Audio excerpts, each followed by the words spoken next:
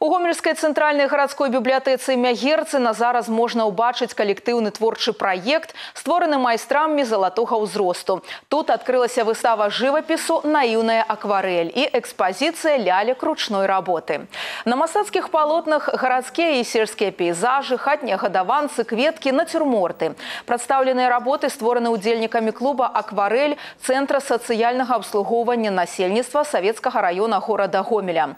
Жывапісныя карціны адлюстроўваюць прыгажосць навакольнага свету і дарагія сэрцу аўтараў мясціны роднай беларускай зямлі. Побач размясцілася выстава лялек ручной работы удзельнікаў клуба аматараў рукадзелля натхнення з рэчыцы.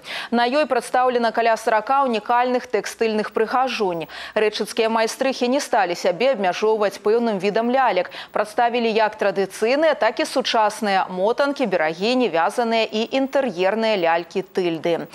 Неад'емныя складнікі кожнага вырабу, пазітыўная энергетыка и частинка души майстра. На данной выставке представлены работы а, людей почтенного а, возраста. Выставка и акварельных работ, и кукол, она показывает то, что люди, которые а, вышли на пенсию, не обязательно будут только печь пирожки или варить варенье для внуков, они также могут самореализовываться в творчестве и показывать свои работы широкому зрителю.